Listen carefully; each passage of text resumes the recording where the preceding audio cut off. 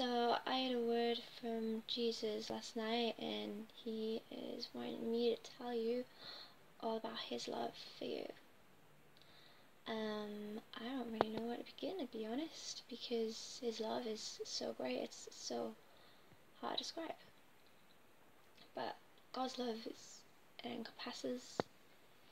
Uh, he looks at us, and he just he looks at our beauty and he sees the beauty in our soul.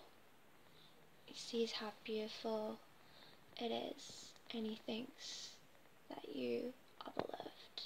You are beloved by him. God is compassionate, beautiful. It's the love of the heart of Trinity. Love has all elements in it, but God's love, God's love especially for you, is very uniquely. He sings over you. The love of God never goes down. Never. No matter what you have done. He still loves you despite all of that.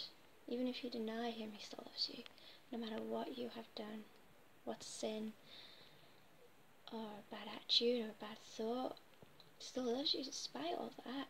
And he is ready and prepared to forgive you for that. He loves you through that. His love is so passionate and powerful. He loves you wholeheartedly. It's a type of love that captivates our hearts. He loves us because we are of value to Him.